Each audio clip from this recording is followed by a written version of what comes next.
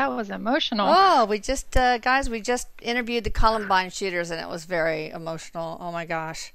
And uh, Kim picks up all the emotional energy and feels some of the same feelings. So it wasn't easy for you, was it, Kim?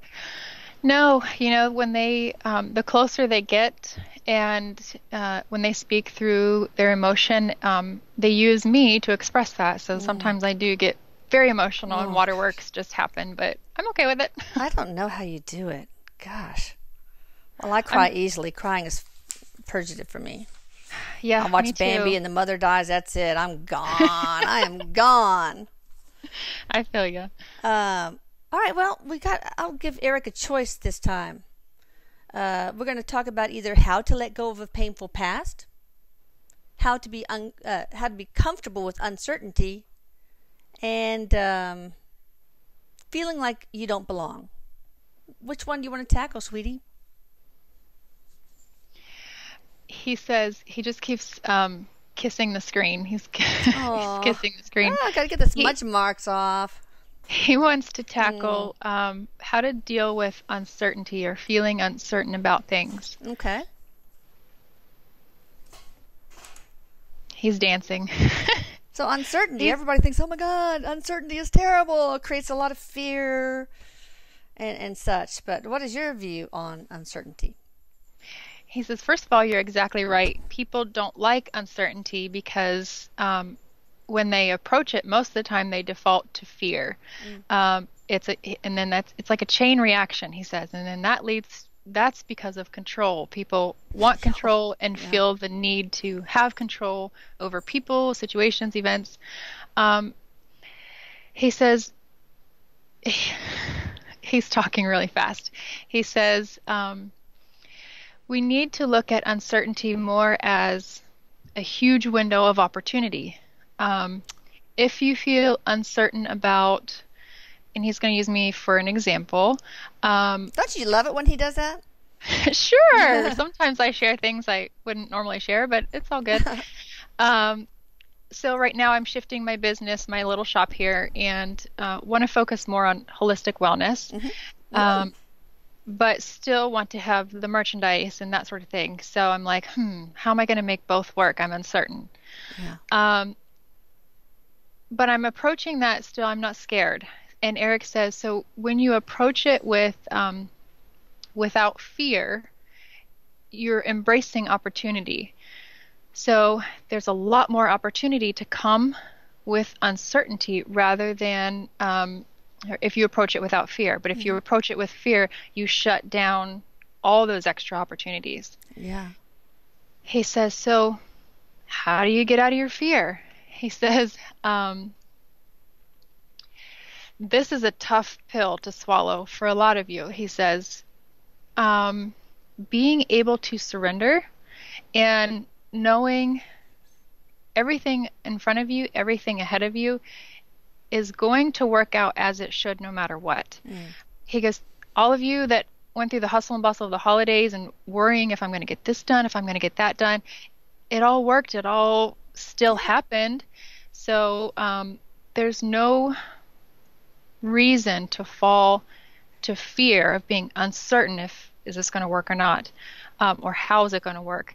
Um, again, that's where the control comes in. So surrender from needing control, and instead of needing control, um, in those moments of uncertainty, listen to your heart and feel. He says if he says this is this this is a little side note. He goes, "This is to help a lot of you cope with the need for control. Um, begin to feel. Then that will help you make decisions. Um, so you can be more decisive without needing the control part. I'm, I'm going to make this decision. I'm going to make that decision. He says, instead, um, just feel it out, and you'll feel which way you should go, which way you shouldn't go, and then you'll be more decisive. And, and That's right. You, you, say that. You say feel first, think second. First, uh, tap into your feelings, and then let that produce a thought instead of the opposite. He says exactly. And then when you feel stronger, when you feel, um, you'll be more decisive. And that in itself gives you power, but it's that personal self-loving power mm. that you need. Um, so he goes, okay, getting back to just uncertainty and surrendering. Um, surrender to. He's smiling and he just like went like this. A lot of stars. Um, surrender to the fact that there are a lot of opportunities ahead of you all the time. Mm. Uncertainty can make you feel it can make you scared and it can make you shut down. But again, um, that's where you have to learn how to cope with the fear of it. Um, find ways to be more decisive so you don't default to fear, he says. And then in the moments when you're more capable of surrender- surrendering, he says he tells he says this to me a lot, and he's going to say it again. Um, sometimes, if you don't know what to do, don't do anything at all. Mm. Um, just chill and feel. He says, feel it out first. Feel it out. Feel it out, and then because if you connect your heart to, let's say you have two possible outcomes, mm-hmm. you connect your heart to this one and see it, um, role play it, and then you connect your heart to this one. What feels better? he says, that'll help you make your decisions. Mm. Um, that'll help you be more decisive. And if mm. people are rooted in being more decisive, they'll be more successful. They mm. won't kind of crumble to feeling uncertain. Uncertainty says, um, or certainty can come from ego, he says. Mm. Um, when I need certainty, I need answers, I need control. That's a very egocentric, ego based concept for the most part, he says. Um, so, again, a whole another lesson in detaching from ego in itself. Um, surrendering helps you do that. Surrender from the ego to be able to connect more to the way you feel. Because it's either, he goes, it's either ego or love people. because you really yeah. can't reside in both. I see. Well, you know, uh, I look back on my life and there's been so many times where I've been uncertain, but here I am, still alive and well, and everything worked out. Maybe not like I really wanted it to, but uh, you know, acceptable.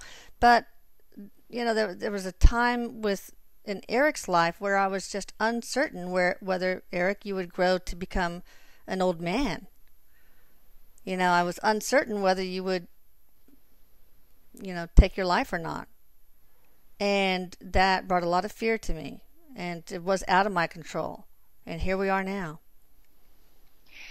He says um, the bigger message with all this uncertainty, especially in my life, Mom, and in your life, he says, um, even in those really dark, scary moments where you're uncertain if I'm going to continue living or not physically, mm. um, there are divine orders that are already written.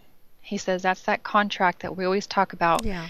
So, um, some of you, he says, have the capability of surrendering to that and knowing life is going to con- continue one way or another as it's supposed to, as it's in my contract.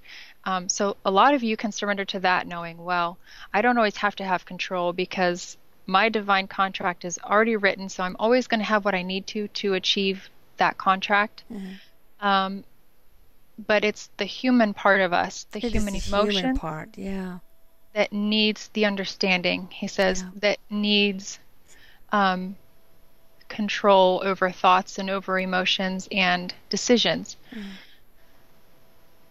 He says, but sometimes you have to realize um,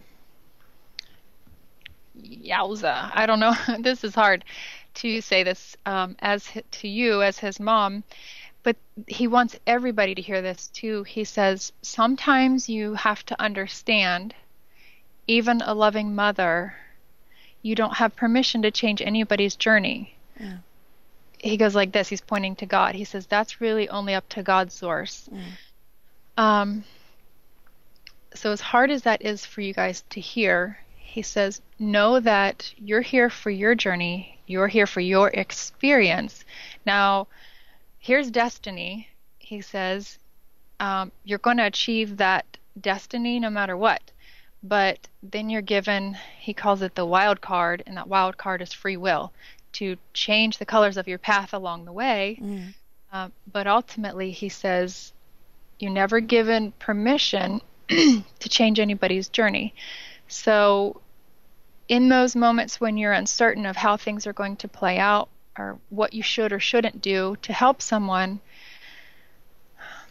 follow your heart first. Feel where your heart is first. Do what your heart tells you to do. And then know that sometimes that's all you can do. Yeah, well, I tried everything I could. Nothing seemed to work. But on the other hand, look at look at look at what's happened with this whole channeling Erik thing. The tragedy has turned to something that that now Erik you're able to help so many people. So, you know, I guess he that says, was the opportunity in this ho- horrible tragedy. He says, he says, Mom, I feel like I have a bigger voice than I ever could have oh, in yeah. my human life. Yeah. And he's thanking you for that. He says, Uh oh. He's blowing you kisses, and he just says, I owe a lot of that to you. Ah, my, your sister's calling me. She always calls me during sessions. I don't know what it is. Uh oh, uh oh. Perfect timing. That's what it is. I know. seriously. Gosh. Comic relief. Uh, anything else on uncertainty? Just know that it comes from ego.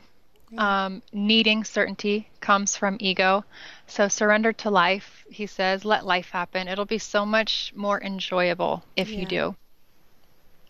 Okay. That's good. I've learned a lot from this session. Thanks so much. Thank you, Mom. I love you, he says. Okay.